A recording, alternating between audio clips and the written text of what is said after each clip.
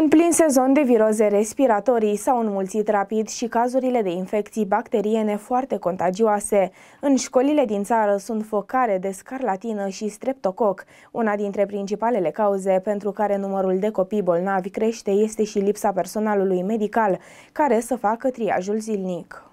Cazurile de gripă și răceală sunt frecvente în rândul elevilor, dar au apărut și cazurile de scarlatină. Deși sunt numeroase, cazurile de scarlatină sunt răsfirate în școli, ceea ce permite instituțiilor să funcționeze normal, fără să fie nevoie de suspendarea cursurilor. Problema începe de la triaj, pentru că este foarte greu ca pentru o școală unde sunt câteva sute sau peste o mie de elevi să se facă o triere corectă. În județul Cluj există 200 de școli și 70 de grădinițe. În aceste instituții există aproximativ 50 de medici și puțin peste 150 de asistente, ceea ce înseamnă că personalul medical nu poate face un triaj corect. În acest caz, responsabilitatea le revine profesorilor, care trebuie să fie atenți în clasă dacă elevii au anumite simptome și să-i trimită la cabinetul medical sau acasă, în funcție de cât de gravă este starea acestora. Medicii recomandă părinților să fie atenți la simptomele pe care le au cei mici și în cazul îmbolnăvirilor să nu-i mai trimită la școală, relatează digi24.ro.